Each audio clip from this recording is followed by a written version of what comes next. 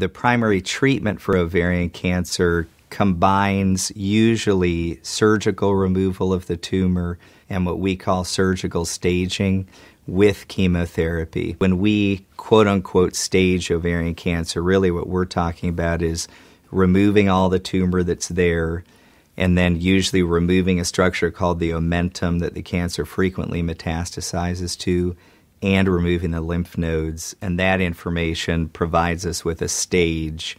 In other words, how far the cancer is spread in that patient. And that then dictates where we go next in terms of treatment following the surgical therapy. Staging is determining the extent of cancer. And so for ovarian cancer, stage one disease is disease that's confined to the ovary. Stage two disease is when it's spread to adjacent pelvic structures. Stage three disease is when it's spread to the abdominal cavity.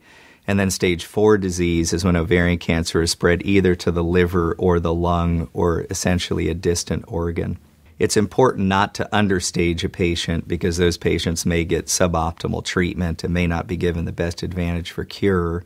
And it's very unusual for a woman with cancer of the ovary not to require chemotherapy as part of her treatment course. And that's because this disease tends to spread early and spreads outside of the ovary into the upper abdomen the most important determinant of outcome is having all the cancer removed.